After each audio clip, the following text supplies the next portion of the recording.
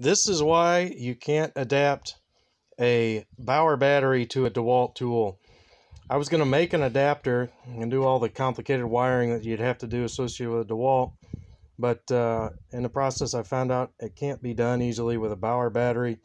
Might be possible with a Hercules battery, but I don't have any of those, so I can't tell you. I think there's other videos about this, but uh, anyway, as I've disassembled this DeWalt battery, of course, between the two outside pins, there's 18 volts to those.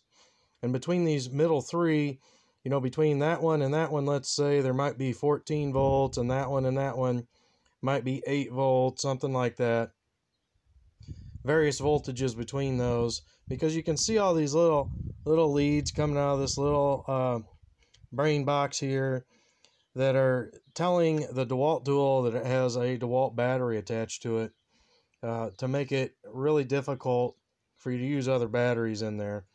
Thought I could make the adapter, but here's the problem. This is my disassembled DeWalt light. There's only four leads on this to connect into the DeWalt battery. You need that fifth one in there. So short of putting another pin in here and then on top of that doing all the complicated wiring, to fool your DeWalt tool into thinking it has a DeWalt battery. Um, it's just it's too much, and nobody makes an adapter yet for this on eBay. It's April 2021. Uh, maybe it's an impossibility uh, to do it at a reasonable price, and that's probably why they aren't doing it. Anyway, hopefully in the future there'll be one, but as of right now, this cannot be done you're just you, it just sucks. Just sell all your DeWalt tools because the new lithium batteries suck.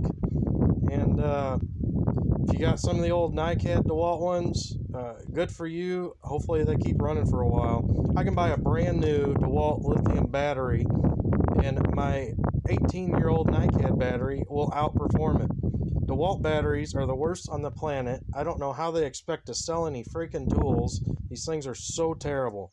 I can drive two screws with a brand new freaking battery in these things. And you call them up and yeah, they're good. And they say, okay, yeah, we'll send you a couple new ones. And sure enough, they do. And it's free. And didn't even ask me for a receipt. But the new ones they sent were just as bad. It sucks. Sell off your DeWalt crap. Start buying some other brand. Milwaukee's awesome, but I don't use these things for my work, so I can't afford Milwaukee. So I guess I'm buying a bunch of Chinese Bauer garbage.